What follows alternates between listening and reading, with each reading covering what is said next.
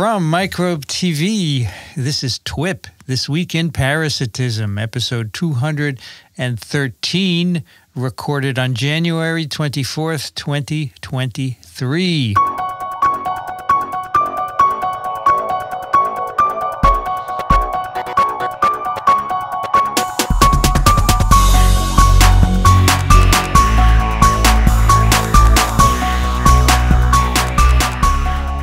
Vincent Racaniello, and joining me today from Fort Lee, New Jersey, Dickson Despommier.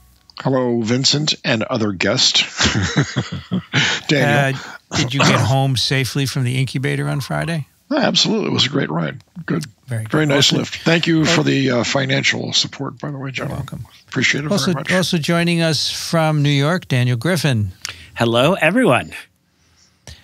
And to uh, tonight we are going to solve the case of the young boy in uh, Uganda. So, Daniel, tell us all about that. Certainly. So let me start for those of you tuning back in and those of you tuning in for the first time. On our last episode, our mystery case was that of a 14 year old boy with a history of slow, progressive development of abdominal ascites over years, a big fluid filled belly. Uh, he appeared wasted and malnourished. Uh, he did not have a fever. Um, he did not have a history of weight loss or night sweats, no history of TB exposure. We'll take that for what it's worth. Uh, he was HIV negative. Um, he had an older brother who died the year before um, with a very similar presentation. Uh, the assumption was it was perhaps the same disease. Um, and we also were told that he had lived uh, his early life uh, by the shores of Lake Victoria, actually, where he swam quite a bit. Um, and that's where we left it. And I think we're going to be, let's see, reading a bunch of emails and then we're going to what kick Dickson off so we've got an extra spot to have a guest come on and do the unveil. yeah, we do need space. That's right. It's fine with All me. All right. Good number of guesses for this one. Thanks for coming up, uh, folks. What do you call it? When st- stepping up to the challenge. There you go. There you go. Okay, Dickson, can you take that first one, please? Sure. Chris writes, Hi, TWIP team. Snorkeling with cichlids and invasive Nile perch in Lake Victoria has always been a dream of mine. However, thanks to TWIP, I learned that one should not enter the water from the shore, as this is where the cercaria of Schistosoma hematobium and S. mansoni live. Instead, I should enter from a safer, deeper distance, where my only concern would be hungry crocodiles and territorial hippos. These critters, newly emerged from their Bulinus and Biomphalaria snail hosts, swim to the top of the water column and seek exposed skin to bore into. Once inside the host, they will embark on the scenic route before ending up at their final destination, first visiting the lungs, the heart, the liver, and then the veins, undergoing a complex transformation into fully fledged schistosomes along the way. Once two adult flukes find each other, they will embrace in a lifelong cuddle session. They will then travel to either the venous plexus of the bladder or the mesentery and finally settle down and produce eggs. These eggs will then have to find their way out of the venules and into the external environment. A process that I'm not sure I fully understand. The eggs are transported across the walls of the venules and into the lumen of either the bladder or the colon, depending upon the schistosomal species. I simply remember that hematobium has heme in the word, which is blood, and it reminds me of a bloody urine, so I know that that one goes to the bladder. Some models I read uh, deposit uh, hmm, I'm having trouble making sense of this sentence. Some models, Some models I read posit. Some models I read posit that I that the eggs are carried in quotes across the different layers of tissue by the immune system, while others say the eggs somehow dissolve their way through. Maybe the seventh edition of Parasite Diseases has the answers, but alas, I do not have a hard copy. One thing is for sure lots of fibrosis of tissue accompanies this process, especially if the eggs get stuck and the immune system endlessly tries to wall them off. At some point, too many eggs end up deposited in the small portal venules of the liver, which leads to cirrhosis and portal hypertension. This is exactly what I believe our patient is suffering from. For treatment, a short course of praziquantel should kill off the adult parasites, as well as some safety counseling to prevent further infections or future infections. This could include vigorously toweling off immediately after a swim, as Dr. Griffin often states. Unfortunately, the damage to the liver is far more complicated to treat, and liver transplantation may be needed. We can come back to that point later. Hopefully, I did not just write all of this just to get a wildly wrong, like my Tunga penetrans guess the last episode. That was a good learning experience, however, since I assumed a negative skin biopsy should have ruled out leishmaniasis. A lesson to double check and question everything. Thank you for all you do, Christopher. Dickson, how do the adults find each other? Delightful. Thank you very much. All right, right Owen writes. Dear TWIP team, I haven't guessed in a while and feel bad that you didn't have many guesses in a recent episode. I have finally caught up with my backlog. I'm up to date. So my guess for this case is that the ascites is due to schistosomiasis acquired when he entered the water of Lake Victoria. There may also be some hepatosplenomegaly contributing to his abdominal distension. Hope you all had a great Christmas and New Year. All the best, Owen. Daniel. Sarah writes, Hello, Dr. Despommier, Griffin, Naula, and Racaniello, and Happy New Year to all who celebrate it. It's 6 degrees C, 42F, and drizzling outside. I'm hurrying to send this guest because I submitted my last guest just a few hours after you recorded the last episode, oh. which was very sad for me as I'd love to win a book someday swimming Lake Victoria and ascites made me immediately think of schistosoma species, particularly S. mansoni. I considered several protein malnutrition, so kwashiorkor, severe protein malnutrition, kwashiorkor, from an intestinal nematode, the liver flukes fasciola hepatica, Opus thoricus and Clonorchis, and peritoneal tuberculosis, but the liver flukes would not cause portal hypertension, and the geography is wrong. Mycobacterial infection would not earn this case a spot on this podcast, although I'd love to see you make a This Week in Mycobacteria podcast discussing NTM, not tuberculosis, mycobacteria, TB, tuberculosis, and lookalikes. I suspect this patient has periportal fibrosis and granulomatous inflammation resulting in portal hypertension from the body's own immune response to schistosoma mansoni eggs deposited in the youth's liver. The result is clinic, clinically significant portal hypertension with its associated ills portal caval shunting, gastroesophageal varices, and risk of bleeding, splenomegaly, hepatomegaly, not to mention chronic malnutrition leading to even lower albumin in his vasculature, further exacerbating the ascites through decreased intravascular oncotic pressure and halted growth development. A diagnostic paracentesis would likely show an elevated serum to ascites albumin gradient, which in this patient would point to portal hypertension from some process. But to get at the cause would require finding the large S. mansoni eggs and their single spike possibly in the patient's stool sample, though, as Dr. Shauna Gunaratne taught us last episode, a rectal snip might also yield the same result. If S. mansoni eggs were found, I'd give praziquantel and hope to reverse his portal hypertension to any extent possible. I'd follow up with stool samples to confirm eradication. Um, if there is time, I have two questions for you experts. If this patient has a high burden of eggs, could treating him trigger a dangerous immune response and temporarily worsen his illness? I'm thinking of the neuroimmune response when a patient with high burden of filarial worms such as Loa loa and Onchocerca is treated with DEC. I know swimmer's itch can be caused by duck schistosoma species that remain confined to the skin, similar to cutaneous larva migrans. Why is it that duck schistosoma cercaria cannot circulate and become adults in humans? As always, with gratitude, Sarah. And a lot of good questions we got to circle back to there. A lot All of right. good questions. I can answer that one really quickly, though, because once the cercaria of duck schistosomes gets into human uh, bloodstream, they realize that we can't fly south in the winter, and they they just don't care anymore. They just lose that's interest. The, that's the scientific answer. Okay. Uh, Druty writes, "Dear Twip quadrifect, quad quadfecta." A 14-year-old boy who is malnourished and has less developed and has developed ascites over the years is a very grim situation in Africa and Asian countries, including ours. He can have any nematode infection like roundworm, hookworm, which can lead to anemia and protein losing entropy, enteropathy. Sorry.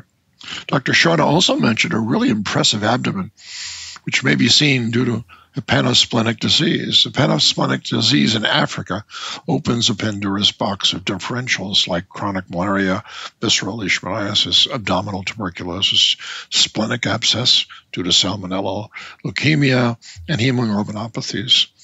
As the patient does not have any fever, most of the above mentioned differentials can be ruled out. But when I Googled Lake Victoria, most of the articles were written specifically about one infection, schistosomiasis due to schistosoma mansoni.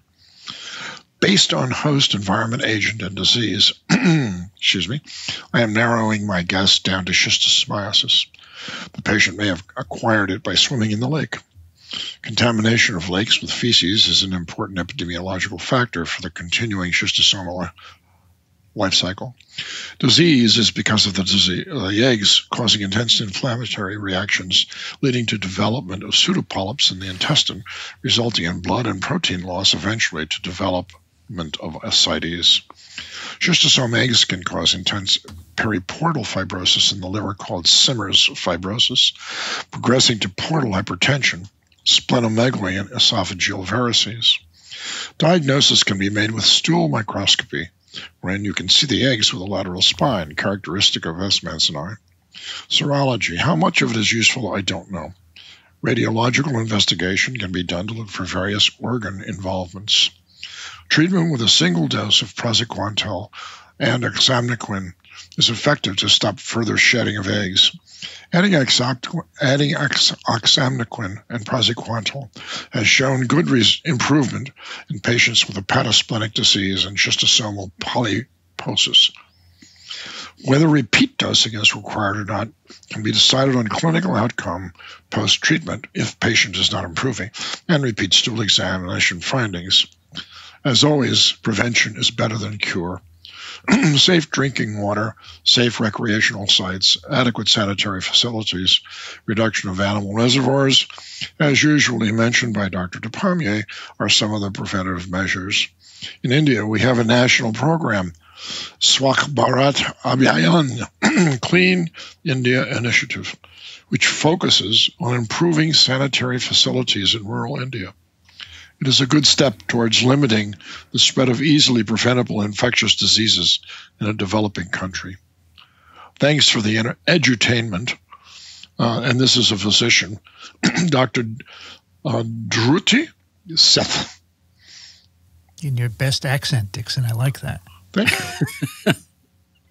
Gina writes, "Dear Vinny and the Twips." Oh, that's a good name for a rock band, don't you think? Vinny and the Twips. How could we not do that? I like it. Is it Ascaris lumbricoides? I'm a little stumped, but I understand you can get it from swimming in a lake. Welcome back, Daniel. Have a good trip, Christina. Thanks for everything, Dickson and Vincent, Gina.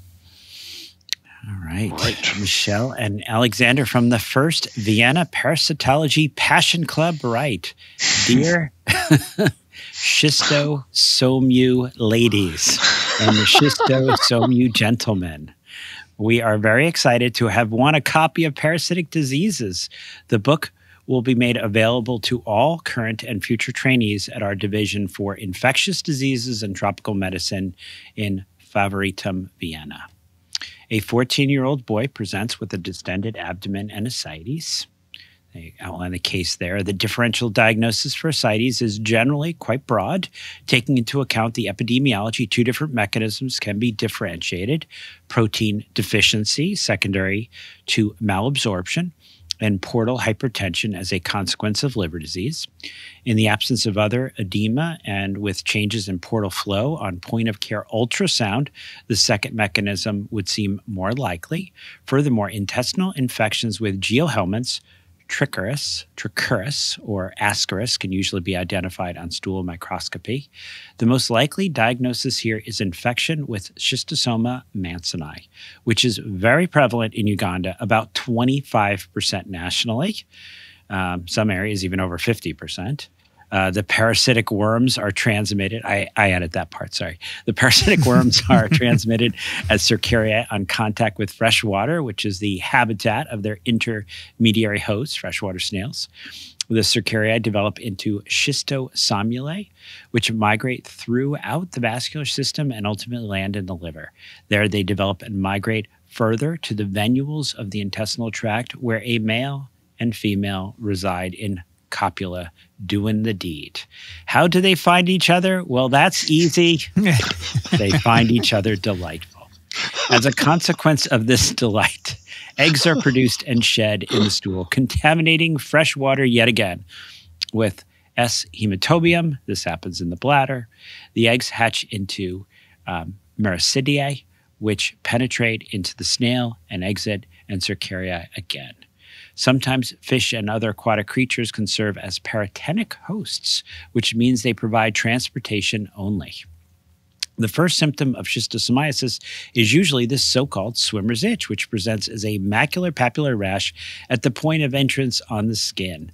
Acute systemic symptoms may include fever, dry cough, muscle aches, hepatosplenomegaly, diarrhea, and abdominal pain. Symptoms of chronic schistosomiasis depend on where the worms migrate and lay eggs.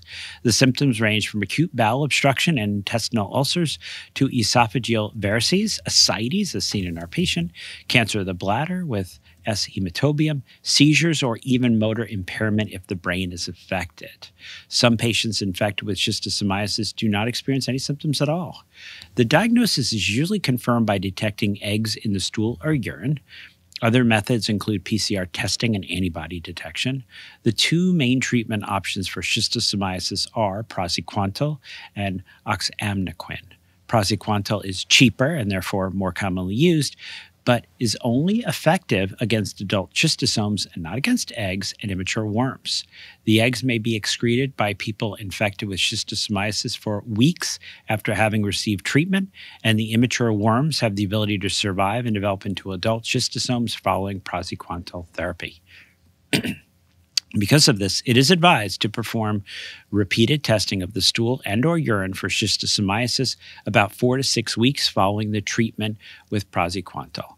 Avoiding contact with or ingestion of contaminated water in endemic regions is the key to prevention of this disease. In high risk populations, mass treatment with praziquantel is sometimes used for prevention. Thank you for this great case. All the best, Michelle and Alexander from the First Vienna Parasitology Passion Club. Nice. I guess I'm next. You uh, are. Kimono writes Dear TWIP team, two soil transmitted helminths, Ascaris lumbricoides and Strongyloides stercoralis, came up as my two final contenders for this 14 year old boy's illness. Both are quite prevalent in sub Saharan Africa and can cause a swollen belly and peripheral eosinophilia. The abdominal distension in A. lumbricoides can be from the bulk of worm burden and eventual intestinal obstruction, which can lead to death and perhaps the demise of his older brother. Strongyloides stercoralis and S. fuelleborni can both also cause abdominal distension and anorexia, but seems also associated with diarrhea, which was not described. Daniel notably mentions ascites, which is a fluid accumulation usually due to serum hypoalbuminemia, i.e., low protein levels, which, due to an osmotic effect, draws fluid into extravascular spaces like the peritoneum. In advanced liver failure, it is due to lack of albumin production by the liver, whereas in infections like Ascaris lumbricoides, they mention malabsorption of fat protein, lactose intolerance with anorexia, all of which would cause severe protein malnutrition and could lead to ascites. And since the PD7 chapter on Ascaris has a picture of a child with a swollen belly, I'll go with this. Ascaris eggs are described as being incredibly hardy and infectious. Uh, and infection is via the fecal oral route, typically in contaminated foods. The embryonated egg is swallowed, The parasite hatches in the alkaline environment of the small intestine, penetrates the capillary, and is carried to the portal circulation of the liver. It then travels via the bloodstream to the heart and further into the pulmonary circulation, where it ruptures into the alveolar space. It can then crawl up into the pharynx, be swallowed, and end up in the intestinal lumina a second time, where it molts, matures, grows, and eventually mates. I imagine this boy became infected at a very young age and is likely being continuously reinfected since one adult female worm produces on average 200,000 eggs per day and the sanitary conditions are likely poor. It is possible that he at some time experienced pneumonitis known as Loeffler syndrome with bronchospasm resembling asthma. Mention is also made of the worms migrating in response to irritation like fever and can lead to perforation or obstruction of the biliary tract or peritonitis. Diagnosis is by identification of eggs on stool exam as well as serological tests to ascaris antibodies and PCR slash molecular tests. In suspicion of hepatobiliary ascariasis, ultrasound and ERCP may be helpful. I imagine that Dr. Daniel may have examined the boy's stool, as the eggs are often prevalent but maybe they could be seen by portal ultrasound when diagnosing the abdominal ascites. Treatment of choices with albendazole and mebendazole, which are used in deworming programs for children. Intestinal obstruction may, of course, require surgical intervention. As always, eager for the next TWIP to drop kimono. P.S. At the end of the recent TWIV, I was thrilled to hear a listener email Maureen from SUNY New Paltz that was a dear grad student friend in Fred Alt's lab back in the 90s. This inspired me to reconnect. And as for my interest in TWIP, I can simply state that as the SARS CoV 2 pandemic was unfolding, colleagues at work began turning to me with questions about virology and basic immunology, which led me first to TWIV and then eventually most of the other TWIXs. A slightly reduced workload and inspiration from Daniel led me to led me to a volunteer experience with floating doctors in Panama this summer with my 17 year old daughter. So here is my plug. We both had a very uplifting and bonding experience and are soon returning for a few weeks in late February, a tradition we hope to continue as she flees to college next year. My monthly response to TWIP cases keeps me learning, and someday I would love to visit you in the incubator. Maybe I'll bring Marlene along. What a great story that two former grad students connected over yeah. a podcast. Yep, yep. We bring like people together. Yeah, that's great. and then the parasites come later. Elise writes Dear TWIP Collective, it's January, and I'm back after being seriously out of step with you all for months. I hope the new year is treating all of you well. It's sunny and windy and weirdly temperate for January here in lower Manhattan, 52F, 11.11C. I'm writing today with an attempted diagnosis for this poor, poor child who lived on Lake Victoria. My concern is that he has a schistosoma infection. This parasite is quite common in much of the world, and for this case, in Lake Victoria, it's transmitted to humans by snails, which live in water bodies such as Lake Victoria and are intermediate hosts for the worm larvae. Schistosoma infections can take different forms depending on how the body of the host responds to the worm larvae and where they take up residence. Initial symptoms of an infection can take the form of flu type symptoms, but left untreated, a wide range of gastric and renal symptoms can manifest as they have done in this child and, in all likelihood, his brother. A diagnosis can be most readily made with a blood sample, and the parasite can be eliminated with a course of praziquantel. I do, of course, have questions about how to treat the child's other symptoms, particularly his abdominal ascites. Does this resolve on its own? Would he need to have fluid manually drained? Will he be able to recover somewhat after treatment?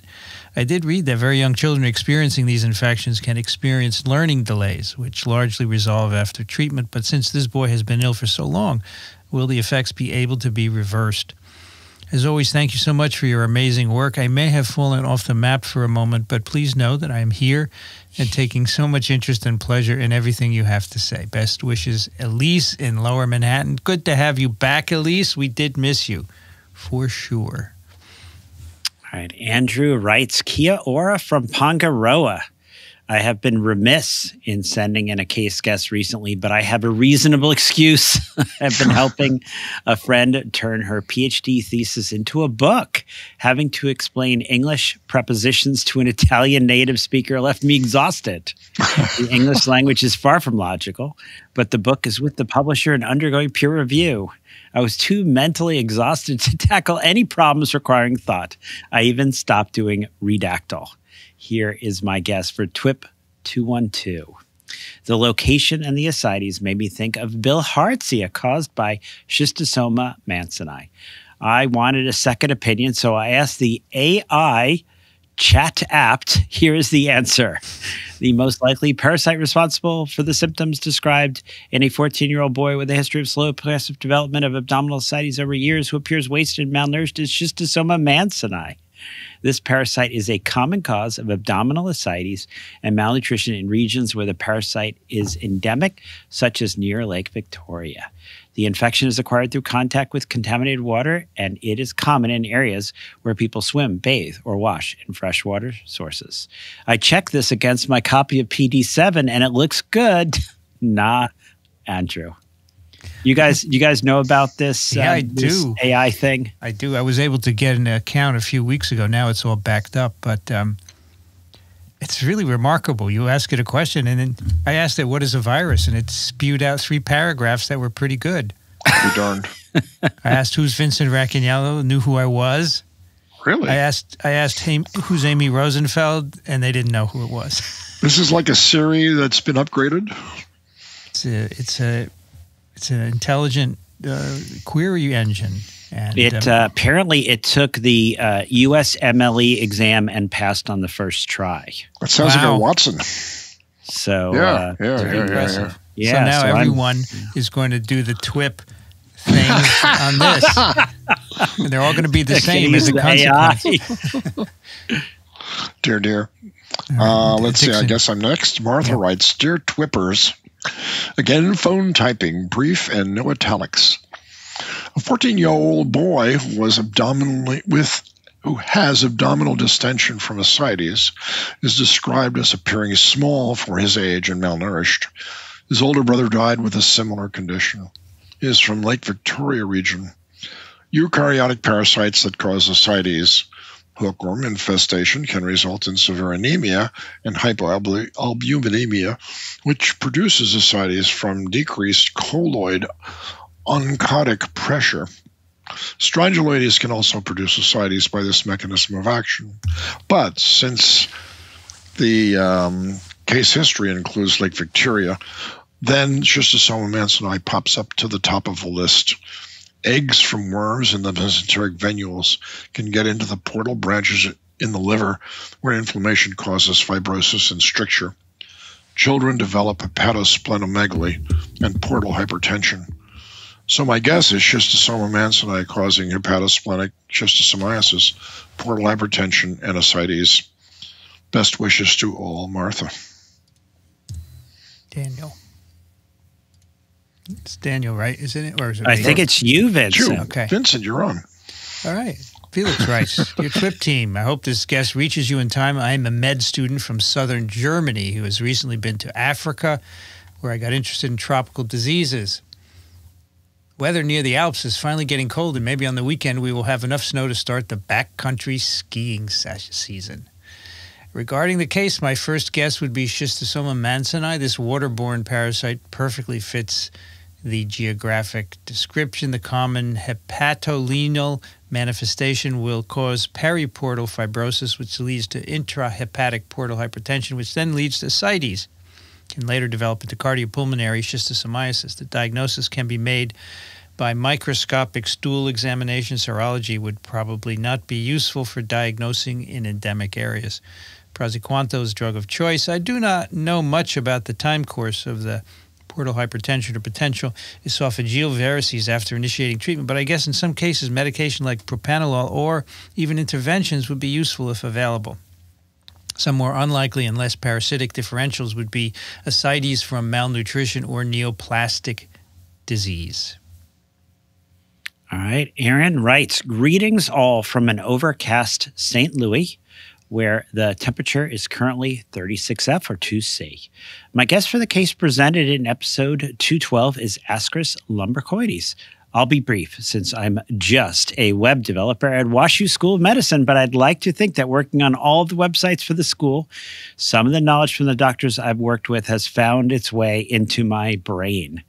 Actually, it was Vincent's comment about the similar picture in PD 7th edition that led me to my diagnosis, that poor child. I hope the child from this case was treated with mebendazole like the case presented in the book and was able to recover. My wife and I found the Microbe.tv family of podcasts in January 2020 when one of her coworkers suggested we listen to the experts about this emerging virus. It turns out that our connection to Dickson goes back much further than that. Monsters Inside Me was and still is must see TV in our house. So when I found TWIP, we said, wow, this is just like a podcast version of the show. And lo and behold, it truly is thanks to Dickson.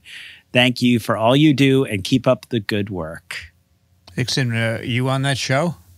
I I haven't been on it for a while. I don't even know if the show has uh, been renewed. It uh, I was on I think six years in a row though. It was a lot of fun. A lot of fun. Cool. Alice writes, "Hello, TWIP doctors. Thank you, Microbe TV and TWIP, for enriching my ID education with evidence based and clinical cases of parasite education. In regards to this week's case, after spending some time in Kampala and Entebbe and seeing patients with complications from Lake Victoria, I suspect this patient has complications of chronic infection with schistosoma mansoni. Manifestation of chronic disease is due to chronic egg deposition within tissues, such as intestine and liver, leading to granulomas. This then leads to hepatomegaly from portal fibrosis and subsequent splenomegaly, leading to this patient's large abdomen. Treatment for chronic schistosomiasis is praziquantel. In young children, I have read that this might reverse some of the portal fibrosis. Therefore, I hope this child is young enough to see benefits. I have received a book recently, therefore, please do not include me in the draw. Thank you all, Alice. And She's a adult and pediatric infectious disease fellow. Tom writes, dear TWIP host, first time emailer, long time listener, more than 10 years. I'm an infectious disease fellow at the University of Minnesota. I work a bit in Uganda and have made stops at Montefiore, internal medicine residency, and the London School of Hygiene and Tropical Medicine. I'm writing now from Kampala, so this case seemed fitting for my first guess. For our young man on living on Lake Victoria, he's showing unfortunate signs of portal hypertension, and an older brother recently died of the same disease. The list of parasites causing these symptoms is relatively short. Diagnosis schistosomiasis. Eggs can be detected on a stool sample, though the sensitivity is not great. Treatment praziquantel. Until next time, Tom from Kampala, Uganda. Very cool. Very How about cool. that, Daniel? You got somebody else there. I think I think this is great. I mean, uh, Tom and Alice, I'm sure we have a lot of uh, uh, friends in common. So uh, cool. say hello to everyone. Um, it, it's kind of a small world, you know. I, I think we Indeed. saw that right at the ASTMNH meeting. It is. Yeah, that's right. So all right, now All right. Well, we have two more guesses, I oh, think. And, and I think uh, before we give away the book, uh, Dickson, did you did you have any thoughts, comments? Um, I had one thought actually. Just one. Okay. A singular thought that this is uh, right up I loved teaching this section to the medical students. Actually, there's a lot of complications of this infection that you can talk about. And you can also demonstrate, as Dr. Harold Brown did while he was in charge of the same course, that many people have it without knowing it. And he used to actually invite one of those people to the class. And he would interview him basically in front of the students and ask him how he was feeling. He said, I feel fine. He said, Well, uh, did you know that the laboratory test came back positive for schistosoma mansoni? And he said, Yes, I did. You told me that last week. I said, did that, that did that affect how you feel now? And he said, Not at all. He said, I don't even know what that is, but I can tell you that I uh, have never felt better. And he turned to the class and he said, This is not an atypical case. And if, if allowed to go further, and if the same habits are followed, then this would obviously lead to a clinical situation. So those patients, when treated with, in those days, they weren't treating with praziquantel because the drug hadn't yet come out. They were treating them with some horrible toxic compounds that you had to inject over a 30 week period with um, one of them was called Fuadin, named after King Fuad in uh, mm. Saudi Arabia, and several others of like that. People uh, sort of rejected the uh, treatment after about the third or fourth injection because it really hurt. And uh, it destroyed muscle tissue at the same time. But a single pill of praziquantel was the absolute downfall for this parasite in terms of its epidemiology. It's it's really uh, been shrunken in terms of where it's found, but nonetheless, uh, the real cure for uh, schistosomiasis, in my view, is to improve the economic status of the area, which then makes sanitation possible, and then after that, everything else follows. So not only do you cure schistosoma, but you cure a lot of other infections as well. Yeah, schistosoma mansinite is my right? So you're going with schistosomiasis. I Dickson, why so. not? Why not Ascaris? Oh, um, oh, let's see. Why not Ascaris? We had a few Ascaris guests. No, we did. Right? We did. We did. We did. We did. Um, well, well, Ascaris doesn't lead to portal hypertension, for one thing. So portal hypertension is a, a symptom of, uh, as I said, Symmers' fibrosis, mm. where the um, portal circulation, the the pre uh, portal circulation, I should say, becomes um, uh, fibrotic due to the fact that the egg gets stuck in that vessel before it can actually get into the liver itself. Which, by the way, following back to the case that I read earlier, where I said we can return to that um, piece of information, the liver itself is not damaged at all by this infection. Mm. So, liver function up to the very last moment before the capillaries the precapillary uh, uh, sinusoids are trapped by all of the eggs. Let's say you get millions of eggs, and and, and 80% of the uh, precapillary sinusoids are occluded. At that point, you could then have liver failure, but you don't mm. get to that point usually with that infection. It's uh, got lots of other ramifications before that, but but the liver itself is spared. And so when you look at a, an autopsy of somebody who died from this infection and you look at the liver itself, it's absolutely perfect. There are no liver enzyme changes, nothing. So that the difference between Ascaris and schistosomiasis is that schistosomes do this to the uh, portal circulation, and Ascaris does not. Help. And you might you would find Ascaris around Lake Victoria. Oh heck yes! Yeah. Come on, Daniel, you must see that in every patient. You know, it. Uh, this is actually so. These are some interesting points before we get to the unveil and find. Like, if you just saw a photo of this person and didn't have the opportunity to examine them, right? Yeah. You know, they this child does look a lot like that picture of the, the yep, girl. Yep, there are some similarities. You know, a bezoar of Ascaris, but I think the difference, and I'll say the big hint here I think we'll see when it gets unveiled, but was the description of ascites. This isn't a belly distended with asc- an ascaris bezoar in the um, in mm. the stomach. This is actually a belly distended with fluid. And how's that fluid there? So, you know, if we are going to invoke um, scarring of the liver, portal hypertension, then I like schistosomiasis. Interesting enough, if you tested this child for Ascaris eggs, you would, I, I think you would find. You'd see them. Of course you would. If you uh, were concerned that maybe this child had some degree of malnutrition, they probably do. Yeah. So this this may fall into the category of one main diagnosis, but probably some other things contributing as well. Maybe there's malnutrition. Uh, maybe there's a low albumin in part from not getting enough protein in the diet. Maybe there's some other you know parasitic diseases going on. Um, but yeah, I think ascites is the big one that draws you to scarring of the liver um, in this case. So could you look at the young boy and without examining him, know he has portal hypertension? So there are some things that you might like from the picture. It's hard to see, right? I think you know we all looked at a picture of this boy. It's hard to see actually. Mm. Um, Yeah. I mean, one of the things that might be a, a, helpful distinction from just looking at a photograph or just standing back and looking at this boy is, you know, we'll, we'll talk about our differential. So one is, um, does does he have fluid there? I'm going to say we think it's fluid there. Is it fluid there because of pressure, or is it fluid there because he's malnourished and not getting enough protein? Mm-hmm. And this is an interesting, um, you know, maybe I'm going to call this a pearl.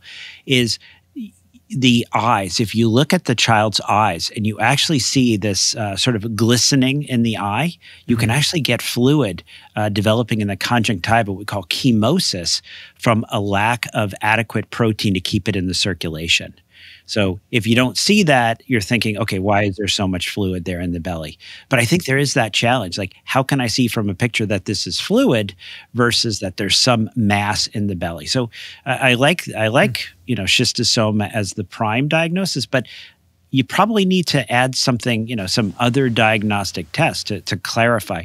One would be it'd be great on exam to see a fluid wave. You have the child just lay on their back and you actually you, you can tap out and feel the fluid shifting around, telling you that it's coming from, you know, either portal hypertension or lack of oncotic pressure. So that fluid is going to help you.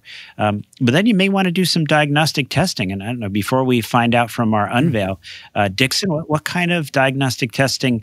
Uh, maybe we should start with the old school.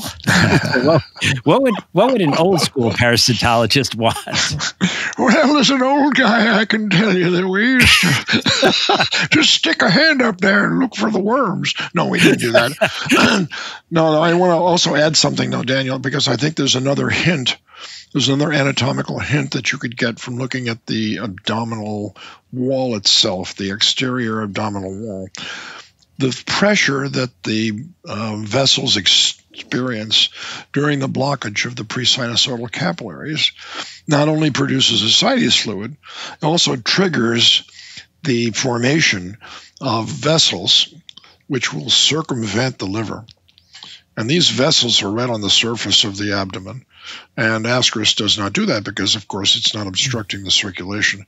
So if you look for, they used to call them spider veins or some. Or they cap, caput medusa, the head of caput medusa. medusa. I like that. I like that yes. very much. So if you see that, it's like another, as you say, uh, a hint or a, a, pearl that you can take and say, well, I see this fluid in the eye and I see these spider veins. It's probably portal hypertension. And of course, epidemiologically yeah, yeah. speaking, um, millions of kids in Africa have ascaris without distended abdomens. Yeah. I mean, the so, other, which is an interesting thing that we could see in this picture, was um, the umbilical hernia, right? Yeah, yeah, yeah, yeah, yeah, yeah, right? That's right. And that's, that's going to be fluid, right? If you, are right, just full right. of worm, just full of worms. I mean, now, now we're going to be embarrassed at the unveil. If you're just full of worms, you wouldn't expect something to be extruding no. that umbilical hernia. And I'd never actually heard of um, uh, strongyloides uh, inducing that kind of a syndrome. Although one of the uh, letters did refer to that. you know the full the fuelleborni um, variant. Yeah. Okay. Um, okay. I, yeah. That right. and so I thought that was that actually might be right. that was, might be right. That's right. Hmm. Well, see, I didn't appreciate these subtleties, so I couldn't distinguish between um, the two schistosome or um, ascaris. Well, that's that's why there's a medical school, Vincent. no, no, I think this discussion those differences. is very. This discussion is very good, right? Because now we learned how. Yeah, absolutely, absolutely. So, okay, so what diagnostic test would I run? Which is old school. I would take a, a rectal snip. Um, first of all, I look in the stool, of course. But if, in an old infection where the adult worms are not uh, are no longer reproducing because they're being uh, uh, inhibited by the immune system, um, then you wouldn't find too many eggs. And the other thing that you might not find are living eggs. And that's one reason for taking the rectal snip and looking at fresh tissue to see if the eggs themselves have been produced recently or if they're calcified or if they're uh, dead. And there's a little excretory cell inside of each of these um, larvae inside the egg. Actually, there's a pair of them, and they look like flames. When you look at them under the microscope, they look like this. They, my fingers are going back and forth like sleep, sleep. You will go to sleep now.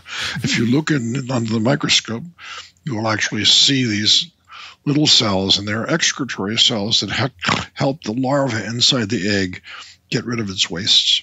Mm. And uh, when those are no longer moving or you can't even see them, then the eggs are dead. That means it's an old infection. And that used to be a concern because the drugs, remember, they were highly toxic.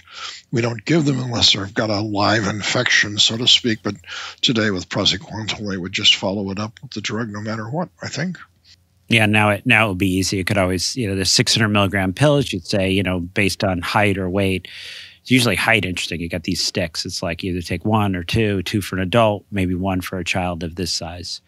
Um, yep. And then you just you you might repeat that if this is schistosomiasis, right? Which I think we're all hoping it is at this point. so should we should we have Dickson um, step out for a moment? Right. Dickson, I, we uh, have a special guest to do the unveil. I would happily gonna, step you're out have for to a step moment. out, but when when our guest is done, you can come back. Okay, Dickson. I'm turning off my camera as we speak. Our guest today is the founder and executive director of Soft Power Health. Jessie Stone, welcome to TWIP. Thank you very much. Thank you, Vincent and Daniel. Thank you for having me. Soft Power Health is in Uganda, right? Yes, we are based uh, along the banks of the Nile River, uh, just 10 kilometers north of the source of the Nile, Lake Victoria. And but you are not in Uganda at the moment. You're in somewhere in Europe, right? I, yes, I, you could say I'm en route. I'm en oh. route back to. I, am in a, a, a, temperature extreme from uh, what Uganda is at this moment. Where are you en route from?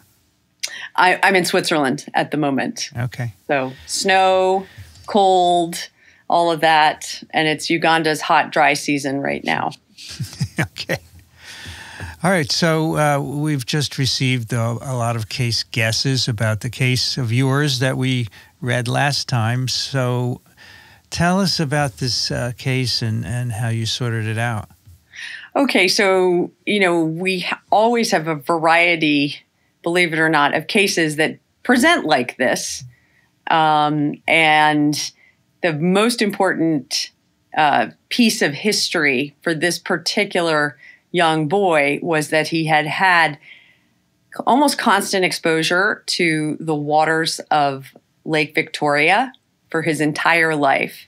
And then the other part of the history was that he'd had an older brother who had died the year before from apparently the same disease, though the older brother never received a diagnosis.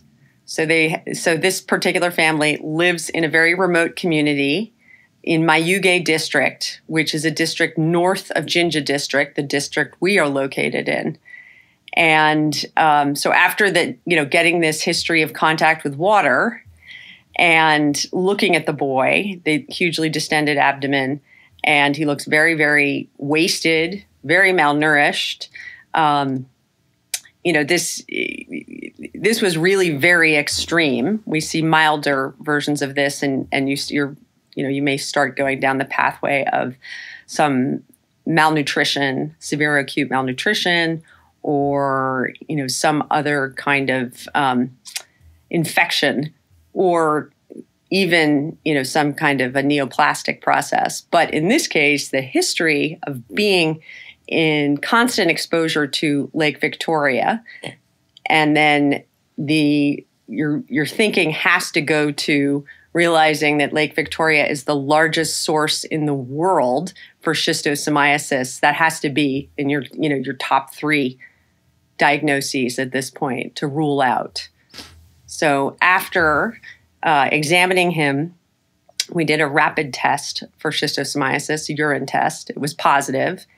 And then we began treatment. We also tapped his abdomen because it was so enormous. Um, you know, he was having trouble breathing, having trouble moving, could not sleep, couldn't lie flat and breathe at nighttime. And um, you know, over the course of he's been we've been treating him monthly for the last uh, three months. He's improving, which is really terrific. And of course, adding to just the symptomatic treatment, we're treating with praziquantel, which is the drug of choice to not only control but cure schistosomiasis. And um, I should say, on the back of this, this past summer, we did a study at our clinic. Um, well, not at our clinic, but in the village where our clinic is based, to figure out the prevalence of schistosomiasis in our home village there. And we found it to be 51% of the village infected. So that was a big eye opener for us. Um, you know, and then of course you're led to two different pathways control of the condition and cure. You know, we obviously like to cure any case that comes in our door, but from a public health point of view, you may not be able to cure an entire village, but you can control. So that's, you know, we, we work closely with the local district medical office in Jinja and, um, you know, other control groups that are specifically based from the Ministry of Health on schistosomiasis. What, what does control involve? Control involves treatment with praziquantel, but okay. it, you know the specific measurements, like for example, they will use height as opposed to weight, and they will to you know prescribe the dose, and then they will also say we'll do it twice a year as opposed to you know four times a year, which you really mm-hmm. want to do to cure it in this case. But there's is there anything you can do to prevent them from getting infected to begin with? Well, I would say no because you know people are in the Nile is the Nile and Lake Victoria are sources of water, uh, not only for drinking, for bathing. Um, for washing clothes, for swimming and enjoyment, also for fishing. You know, it's it's, it's so it's a, a big part of life, and so it would be almost impossible to sort of remove people from contact with Nile River water or Lake Victoria River water. You know, so that's part of the problem. so back to it, oh, sorry, I was going to say back to the case, Dr. Stone. So um, you do the urine test. You you say it's schisto. Um, do you do stool? Do you try to clarify? You know, you is it you do, you definitely try to do stool. Um, it's not always possible to get a positive stool sample, even though you would hope to get that. But in this case, you know, sort of with the history and um, treating him and seeing that he's making this improvement, you know, you you think we are definitely on the right pathway here. Um, you know, and and he and he looks better too. You know, as time goes on, he's making these small and small improvements. And my God, if we didn't do that, you know, then he's going on a, a direct pathway to not recover, to be like his brother. Yeah. So, how long would it have taken for him to get that abdominal girth and how how does it go without anyone oh, that's noticing? a really good question and i don't know if i can give you an answer because you know he's he's let's assume he's been infected since he was an infant and now he's you know 14 years old. Um, you know we did go visit his family at home and found you know he lives literally 500 meters or less from the lake's edge lake victoria's edge so he's constantly in and out of the water as are all the neighborhood kids and, you know, there is in Uganda, there's a big effort to try to control schistosomiasis because it mm. does have such a huge burden and it's a neglected tropical disease. So outside of countries where, you know, where it is commonly known and people have heard of it, the rest of the world has never heard of it. Um, or very few people, I should say. Um, so it's really you know getting the educating people about the impact of the disease is one thing you know letting them making them aware this is what could happen if you come in contact with the water. You do need to be aware that you need to be treated.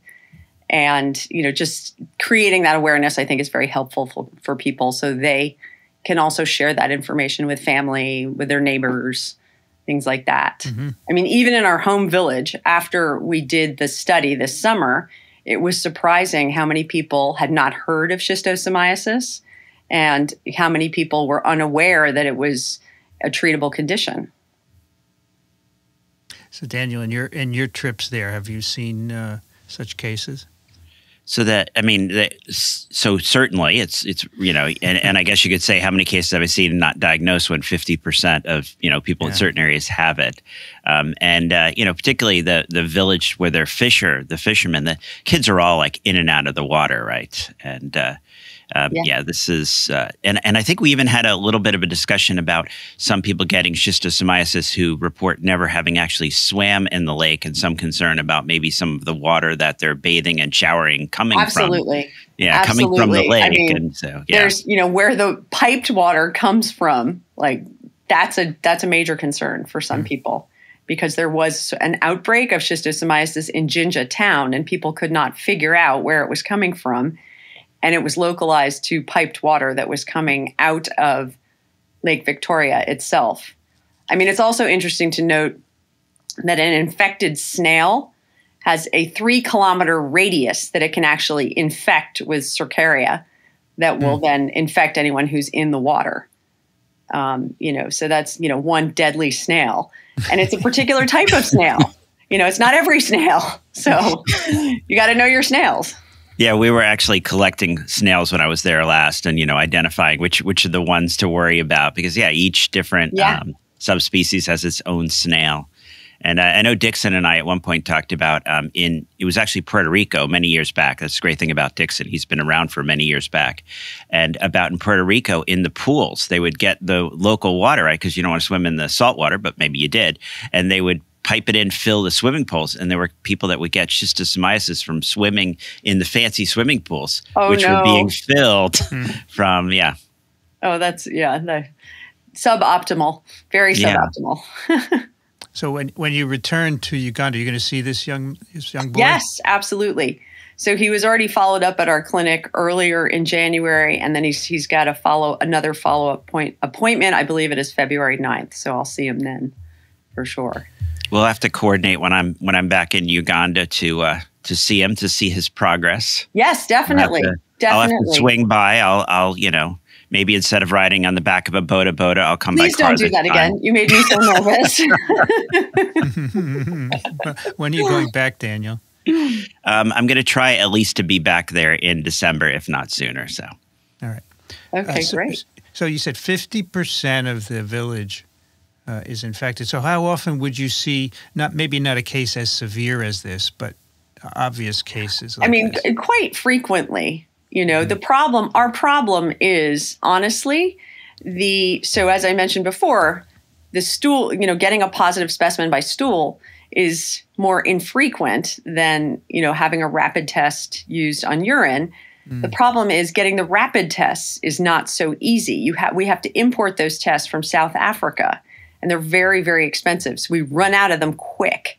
Mm. And so that's another, you know, like little hiccup. I think we would be diagnosing more um, schistosomiasis, you know, if we had a steady stream of rapid tests, for example.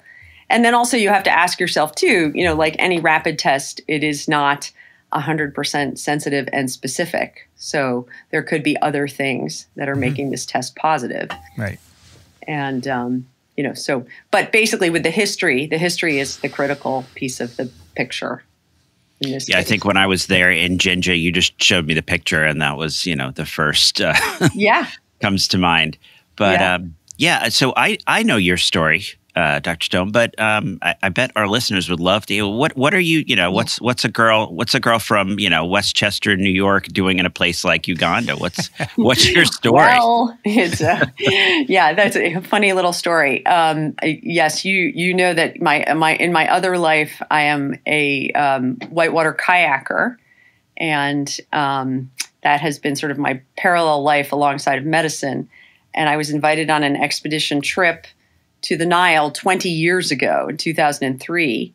And when I went on this trip, um, one of the people on this on the expedition trip with me got malaria, and I ended up having to treat him. And then I looked around and said, "Well, if you know he's taking prophylaxis and sleeping under a net, what happens to the local people here? You know, do they have malaria all the time? What is the story?"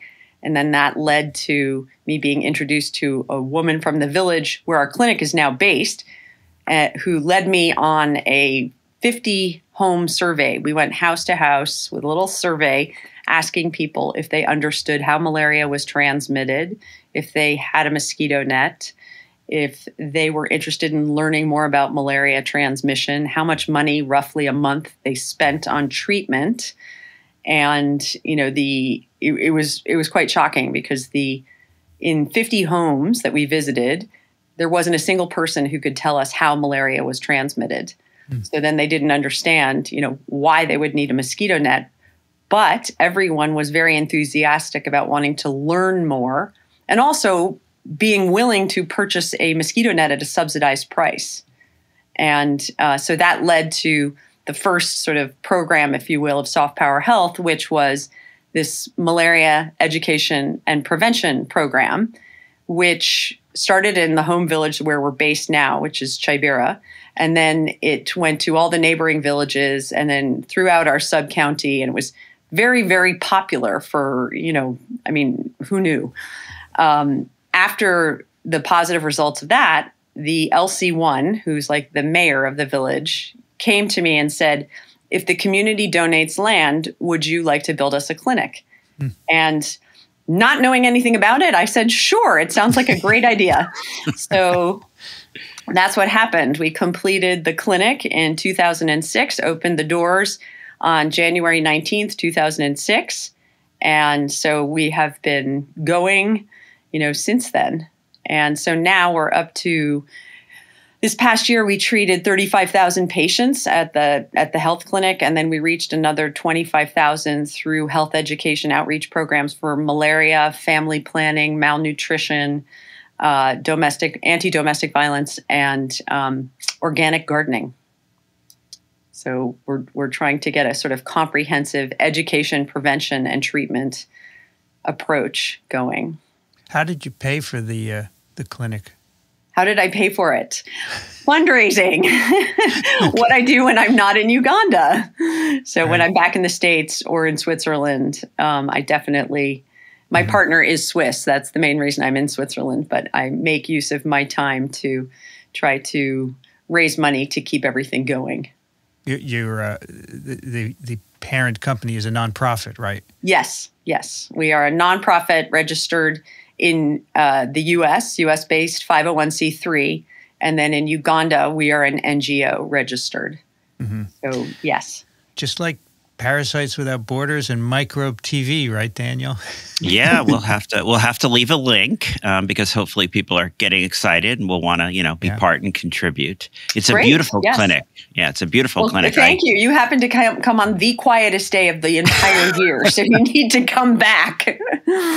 Uh, definitely. How often? How often are you there? Jessie? I'm there three times a year for you know anywhere from a month to two two and a half months at a time. Mm. So, and when you're not there, you're in Switzerland. I'm in Switzerland, or I'm back in New York, even because my mother is. Uh, she lives in outside of New York City, so I go mm-hmm. back and see my mom and U.S. family. So, so do you have any uh, affiliations, hospital affiliations? Yes, or? we work. We have spent um, over 15 years working with Mount Sinai's Global Health Program, okay. and so we've had. Um, medical students, residents, MPH students come and work with us um, over that time, which has been really mm-hmm. fun and terrific. And in fact, it was a Mount Sinai MPH student that worked on this uh, paper on the schistosomiasis prevalence with our doctors at the clinic this past summer. So, so as soon when, as it comes when, out, I'll send it to you guys. love it. When you first went to that trip 20 years ago. What were you doing here in the U.S. at the time? I was a professional whitewater kayaker. I had left medicine. I was a ah. stray, uh, you know, I was like, I need to find what my path is in medicine, and it's not in this traditional, you know, setting that I had been groomed for. Huh. And I had I had uh, thought at the time that I had a really small window of opportunity for my professional whitewater career, you know. And um, the crazy thing is that I've been able to continue both uh, together in Uganda, so that's been really nice for me. Wow, it's it's a very interesting career path for sure. Yes, yeah, yeah, I know. Where did you go to medical school? New York Medical College. Okay. In Valhalla. And so you grew up in the New York area, I presume. I did. I grew up in the New York area, but I went out west. I went to California for my college days, and then I was a philosophy and political science major, and then I had a an injury during my last year of college, and I was thought at the last minute I want to be a doctor. So then I went back and did a post back pre med program at the University of Pennsylvania, and then to medical school. So lots of school. So after medical school, did you do residency? Typical? Nope, I did no? a kayaking residency. That's cool. I'm seeing a lot of parallels here. I was a philosophy major myself. Oh, my, were you? Okay. Yeah, my interest in medicine was after a number of pretty severe ski accidents. Um, yeah. So, uh, okay. I, I think the lesson is study philosophy and get hurt. well, that's funny you say that because actually, when I had this shoulder injury, I had been determined to go skiing and I had a really heavy backpack with this huge book of Plato dialogues. And I was like, I'll study in the lodge at lunch. And I did. But then I skied at the end of the day and had this wipeout and dislocated my shoulder. And that was the beginning of the path into medicine. So if if you hadn't become a professional kayaker, what part what kind of medicine would you have done, do you think? you know, I was really interested in emergency medicine, but mm-hmm. I think what's so ironic about that is that we say our the joke sort of throughout Uganda is that there are no emergencies because there's no emergency medical system. So things mm-hmm. are emergent problems, but nothing is triaged in the way that you would see in the US or the developed world you know there's yeah. there's a lot of and the other aspect of that too is that you have to pay before you get any treatment in Uganda in most places you know if you mm. if you even if it's an emergency if you don't have money on hand you will not be seen you know and that's why mm. so many people die waiting for care so at and your, your clinic and your clinic is subsidized not at our clinic yeah yeah no our clinic we we charge a subsidized price that covers the cost of um, your visit with the doctor, all of your medication, and your lab tests. And it's very affordable for everybody. And then there's a whole subset of patients who really, really can't afford, and we completely sponsor their care. 100%. So, who works at your clinic? Are there MDs and yes, so medical forth? officers, uh, uh-huh. clinical officers, nurses, uh, laboratory technicians, physical therapists, um, ultrasonographers, um, let's see, what else do we have? Lots of uh, outreach educators. Mm-hmm. Um, you know, it's sort of uh, social workers, domestic violence counselors, things like that. Where do they come from? They're, They're they all local? Ugandan. The staff is 100% Ugandan. Mm-hmm. And um, so all hired and, you know, locally and from within. Great. And then, you know, but as I said before, we, we yeah. collaborate with Mount Sinai and then we've done some collaboration as well with the Wayne State um, Medical School. Would seem like a good good opportunity for say medical students or residents to come and see what it's like to to work in such a setting, right? Absolutely. And whenever they do come, they really have a lot of fun too. You know, it's it's yeah. a it's an eye opening experience um, for everybody. I mean, it's an eye opening experience for me every day that I'm at the clinic or I'm out in the field. Which reminds me, Daniel, when this is finished, I'll tell you about a patient I saw um, two days before I was leaving the country. Okay, was, great. Um, yeah. I, yeah. I, always love interesting cases. Yeah. Um, and this is, I mean, this is probably good.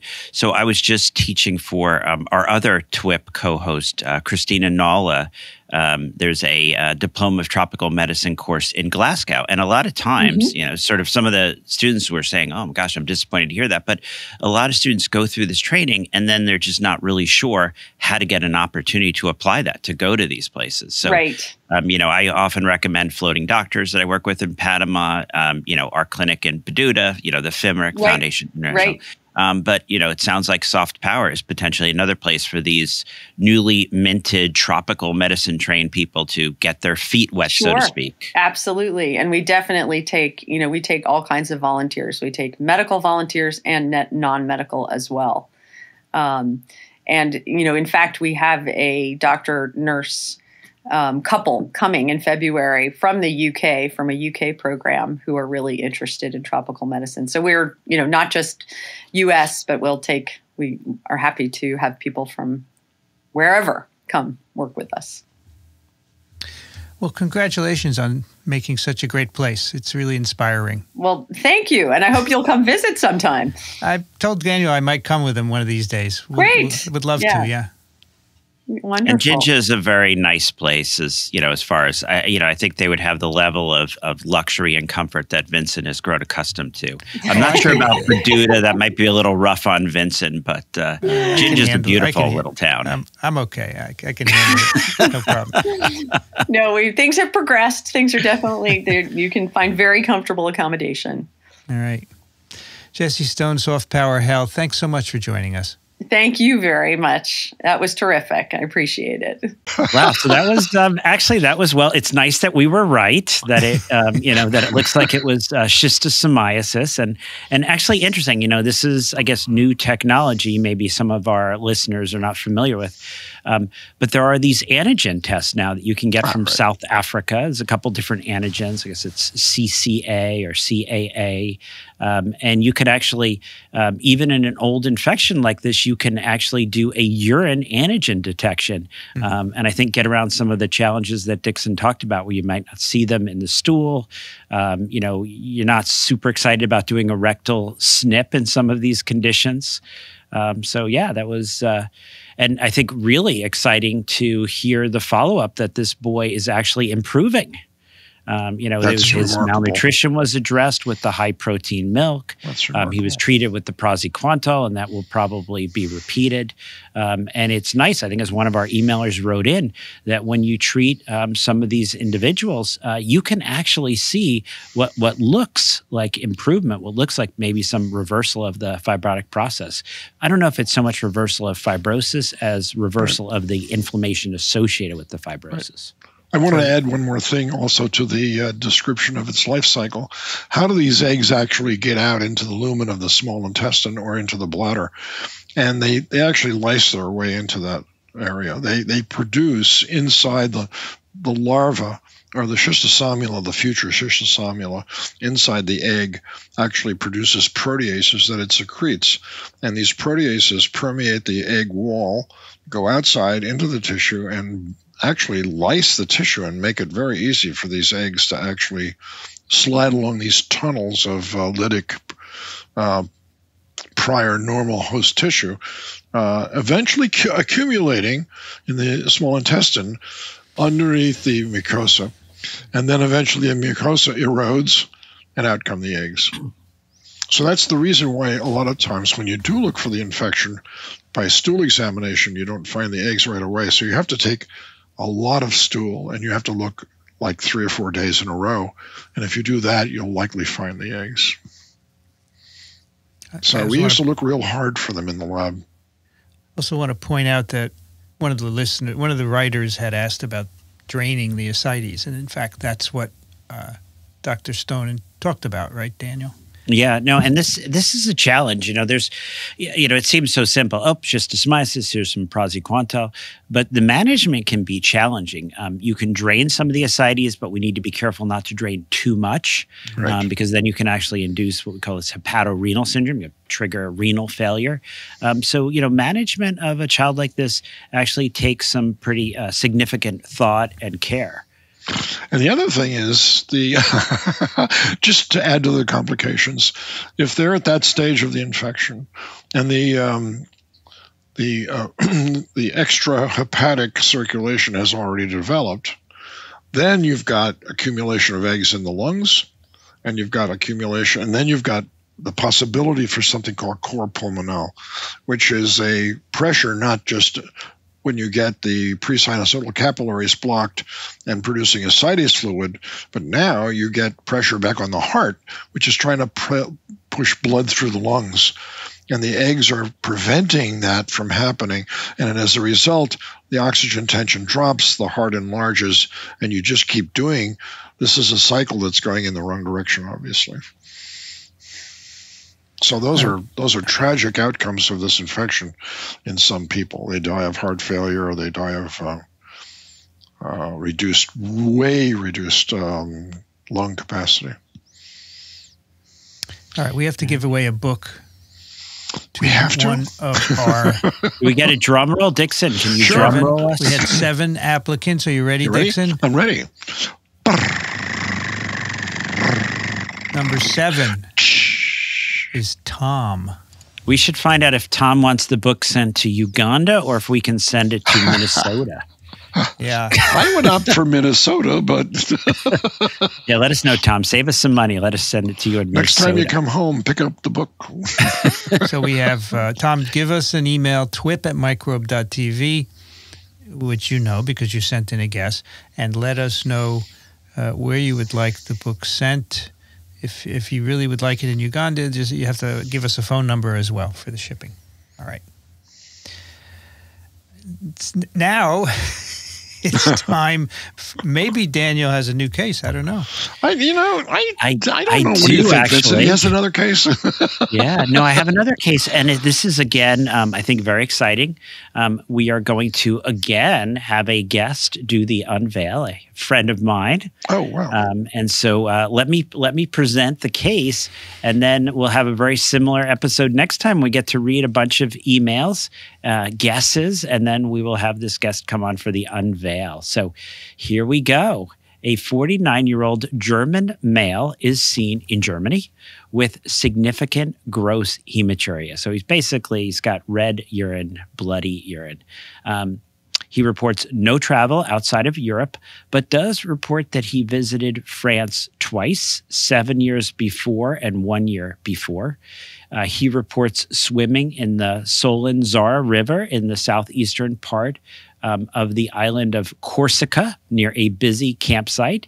He might have gone into the Gravona River in western Corsica near um, Ajaccio at a turtle park and near a campsite, and uh, also may have swam in the Tavignano River.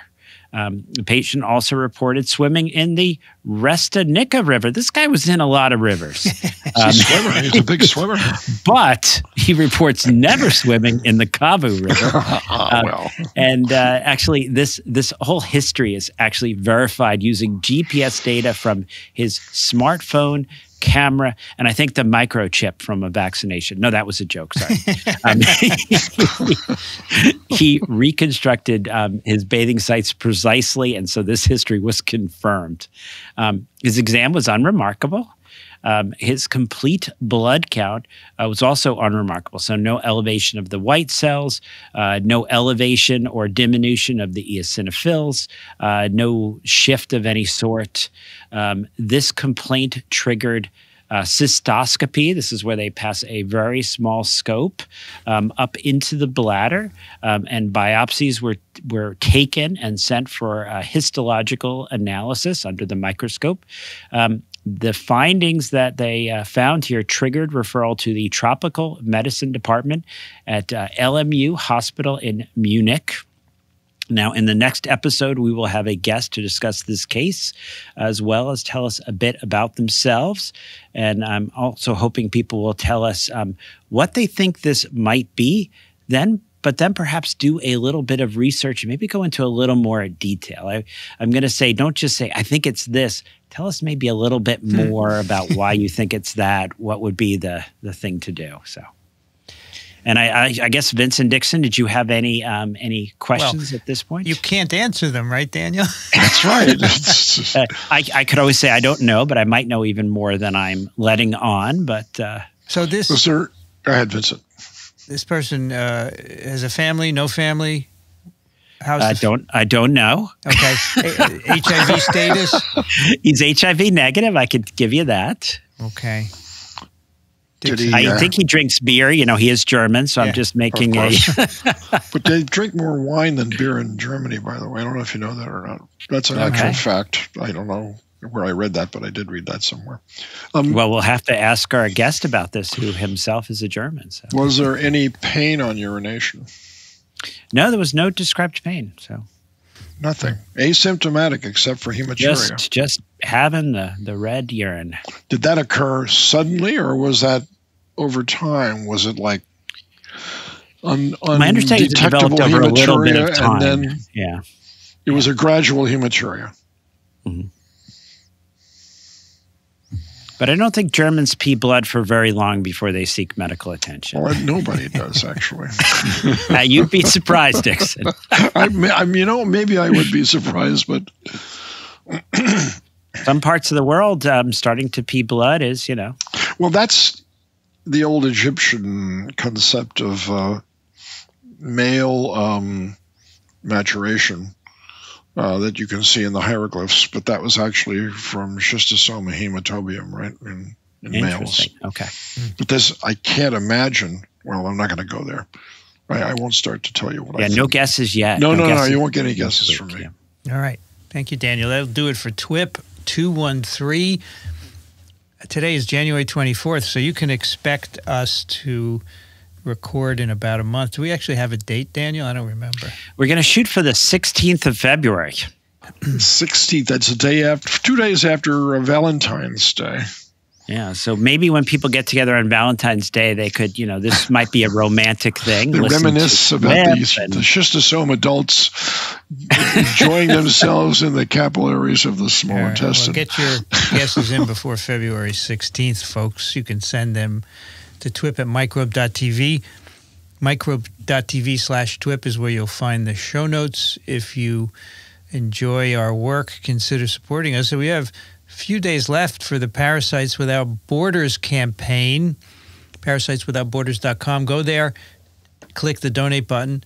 It uh, for the rest of this month, your donations will go to support the work of Microbe TV, and, and Parasites Without Borders will double them up to uh, an amount of forty thousand dollars. So, wow. get them in. We'd appreciate it. Parasiteswithoutborders.com. Daniel Griffin's at Columbia University Irving Medical Center, Parasites Without Borders.com. Thank you, Daniel. Oh, thank you. And everyone be safe. Dickson Despommier, trichinella.org, thelivingliver.org. Thank you, Dickson. You're welcome, Vincent and Daniel.